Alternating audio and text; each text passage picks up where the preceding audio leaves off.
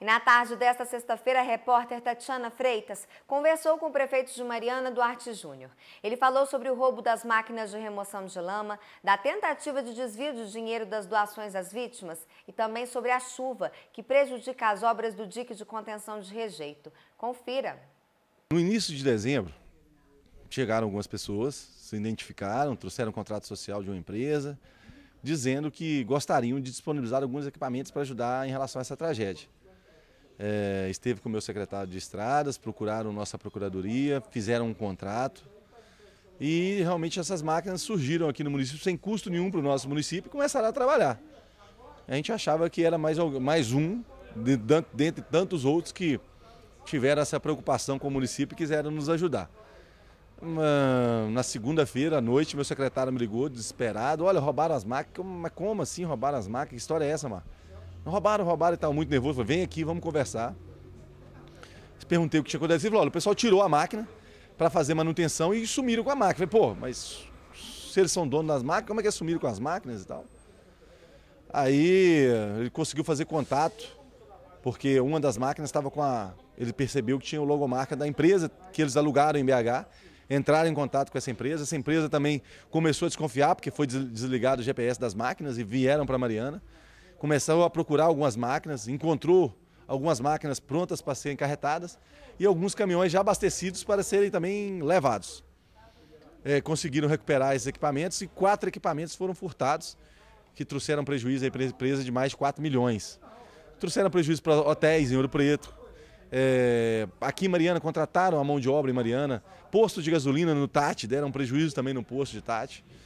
Então, assim, conseguiram dar um grande golpe muito bem é, orquestrado, muito bem estudado. Eles estiveram na região, estudaram tudo. E o que a gente tem que fazer agora é aguardar que a Polícia Civil, que está fazendo um excelente trabalho através do Dr. Rodrigo Bustamante, que ele consiga aí identificar as pessoas que trouxeram, trouxeram aí esse prejuízo para vários comerciantes locais.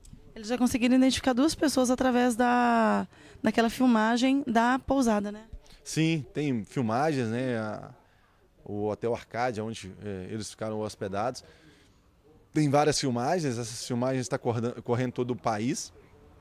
A expectativa é que a gente consiga localizar essas pessoas que se aproveitaram dessa tragédia para dar prejuízo a terceiros. Além desses dois, desse pessoal que tentou roubar, que roubaram né, essas máquinas, também tiveram pessoas que tentaram fraudar e pegar o dinheiro da, o dinheiro da, das doações, né? Eles conseguiram pegar? Como que está essa situação? Então, menina, é cada uma, né? Então, é, o que, que acontece? Eles, é, algum estelionatário conseguiu montar alguns cheques com o nome da prefeitura municipal, com assinatura dizendo que é do prefeito. É, se fizeram uma coisa até bem montado e fizeram quatro cheques, quatro tentativas, sem sucesso, de retirar o dinheiro da, das doações. A gente acompanha diariamente, todos os dias a gente acompanha. Então, sempre quando o cheque entrava, a gente entrava em contato com o banco, o banco também acompanhando, conseguia bloquear que não fossem retirados esses dias das doações. Nós já estamos com mais de 1 milhão e 50 nas contas. Definimos agora que vamos é, já aproveitar e repassar o dinheiro para os chefes de famílias aí. Acho que está na hora, não dá para ficar dinheiro ficar na conta do município. Não é nossa obrigação cuidar desse dinheiro. A gente já fez o que era necessário e o povo já ajudou, então agora está na hora do dinheiro chegar na mão das pessoas que realmente merecem, que sofreram com essa tragédia. Mas graças a Deus, é, esse, aí, esse, nesse caso, foi uma tentativa aí de é, furtar um dinheiro público que não deu certo, né? Já tem alguma ideia assim de quem possa ser, quem esteja envolvido? Não, a gente não sabe. É, alguns dados foram levantados, foi na cidade do, do Rio que tentou, é, tentou ocorrer esse, esse, esse, esse saque nessas contas, mas a gente não, não tem ainda maiores informações, está a cargo da Polícia Civil e nós estamos aguardando aí para ter futuras informações se conseguiu ou não localizar essas pessoas que tentaram aproveitar da tragédia. E uma última informação, é, que nos passaram, parece que essa chuva ela está prejudicando a estrutura dos diques de contenção de rejeito da barragem. Você tem alguma é, informação sobre isso?